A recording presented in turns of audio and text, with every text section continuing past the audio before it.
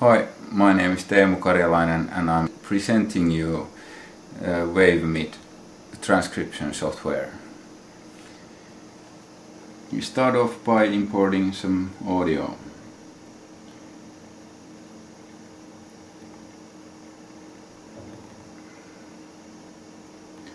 We choose to have a separate tracks for the stereo channels so we have a stereo recording. The first thing that is useful when transcribing audio is naturally slowing the audio down and we can do that without affecting the pitch. So here's the original.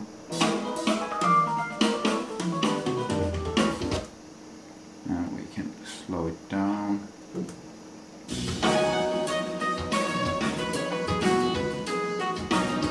Can also change it real time please.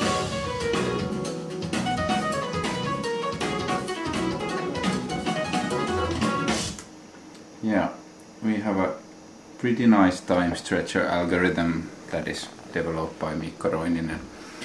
And next thing I'm going to show you is how easy transcription can be.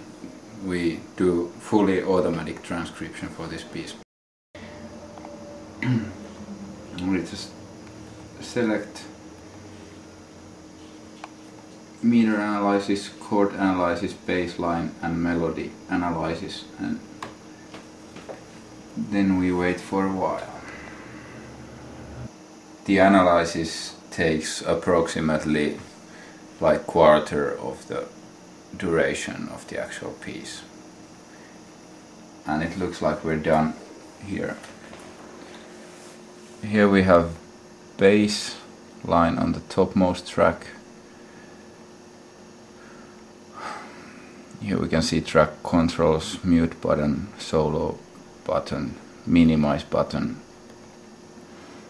velocity button, instrument selection. Here we can select from a couple of possibilities and MIDI channel and visualization control where you can determine the visualization to the track but we come to that later. On the second track we have chords and we can see the chord symbols here at the top.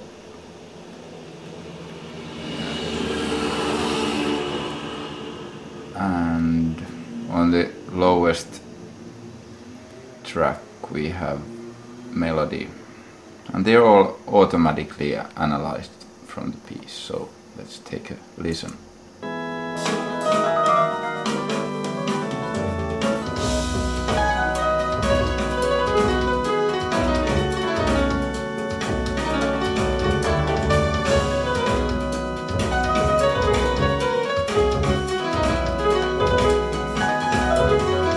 Put follow on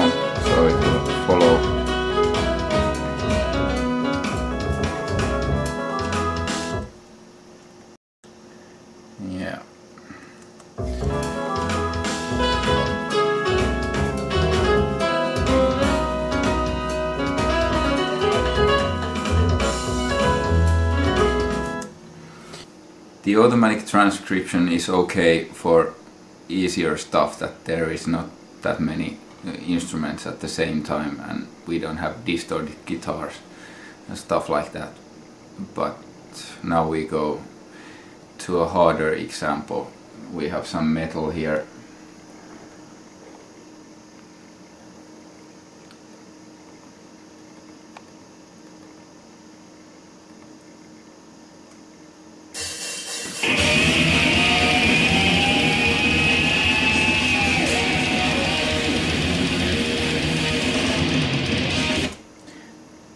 We see from the waveform, it's really there's no dynamics and to a machine ear it's pretty much noise. But we have this FundaVis algorithm that allows us to visualize the pitch content of audio. So we do that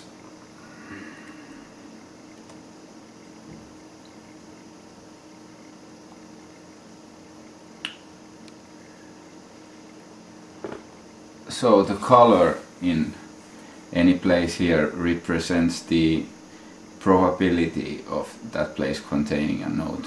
So here for sure is the first note, it's long guitar slide.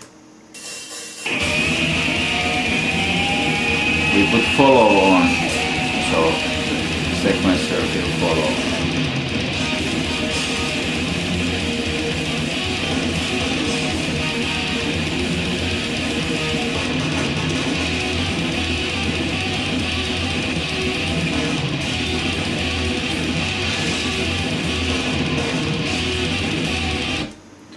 If we would like to start transcribing, we would just draw here a MIDI segment and draw the individual notes here.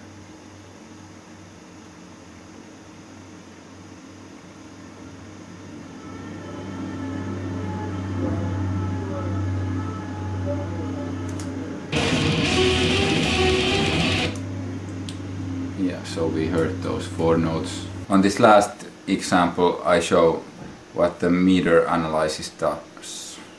So meter analysis is trying to find the time structure of the piece in a sense that it finds bar positions, beat positions and the tatum pulse which is the densest time grid that can be found in the song. So we have a three minute song here. So it might take a while.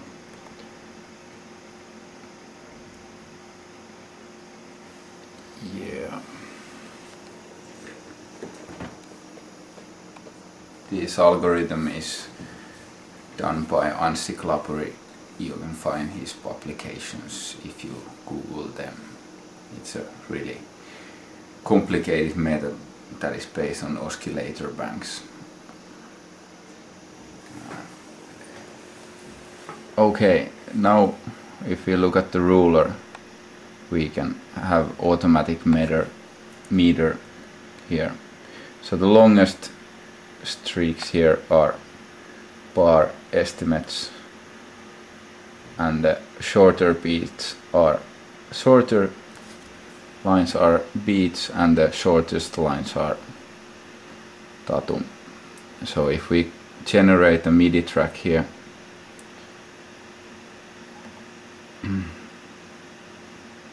You need that. Now uh, we see that the grid we have here in the MIDI track is the same grid that is delivered by this meter analysis. And if we enable this snap function here and start drawing notes they will be quantized to this meter grid as well as all the operations we do